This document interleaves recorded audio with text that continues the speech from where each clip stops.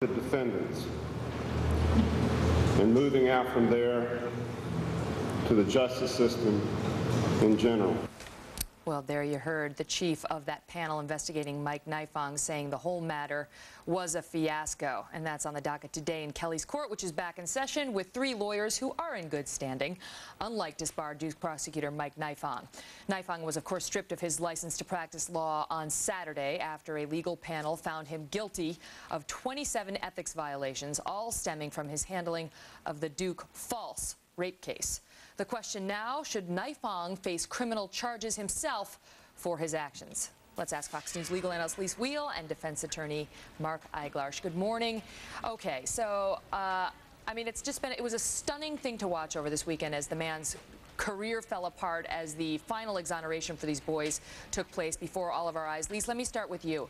This man we're looking at now, Mike Nifong, wanted those three boys in jail for a minimum of 30 years. If he had gotten his way, they would have never hugged their parents again until they died. Is the loss of his law license enough punishment? You know what, Megyn? I don't think so. And you know that all along, until until I learned that Nifong had not turned over the DNA, I said, look, you know, let's have the grand jury do their job. did, There's a true. buffer, all of those things. When I learned that he had not turned over the DNA to the grand jury, to the defense lawyers, I thought that's it. It's over for him. And I think that he has such abused the system so terribly that yes, we have to send a message and go for after criminal charges for him, obstruction of justice, if nothing else. Yeah, Mark, how about it? I mean, the, the, the bar has done its part saying you no longer get to be a lawyer because lawyers aren't allowed to do that kind of thing. But what about holding him accountable to the community, to the, to the boys for what he put them through?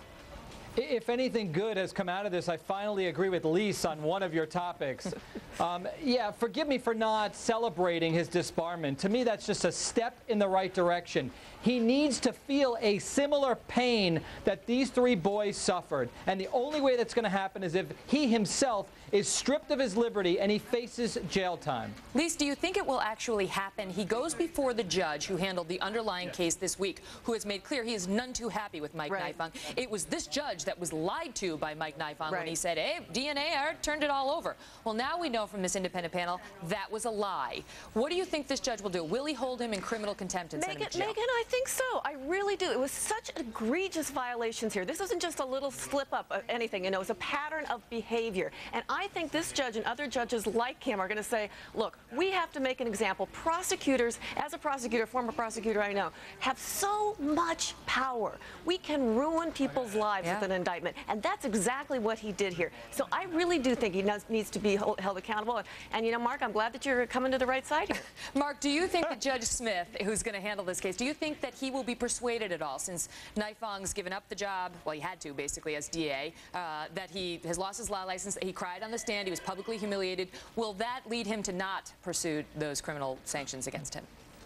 Boo hoo, boo hoo. No, that's not enough. Too little, too late. He had numerous opportunities to come forward and make the families feel at least eh, a step in the right direction to be made whole.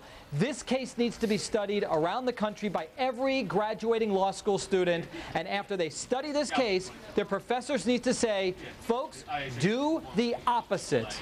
Yeah, that's exactly right. He is an example on what you should not be as a lawyer. But Lis, let me ask you, because there's another question. There's, many had pushed for a federal civil rights prosecution of Mike Right. Nifong, for the Department of Justice to get involved in this case. They said we'll wait until the bar makes its decision.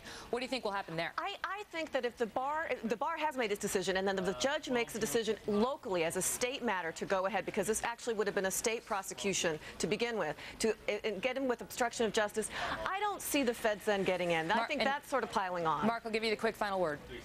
I'll take a federal prosecution as well because prosecutors around the country need to know that this type of behavior cannot go on. And by the way, Judge Kelly, this isn't the only Mike Nifong out there. There are many throughout the country that I deal with on a daily basis. Uh, sadly, there are some some bad apples, but of course, uh, many excellent prosecutors out there as well. Sure. Lisa and Mark, thank you so much.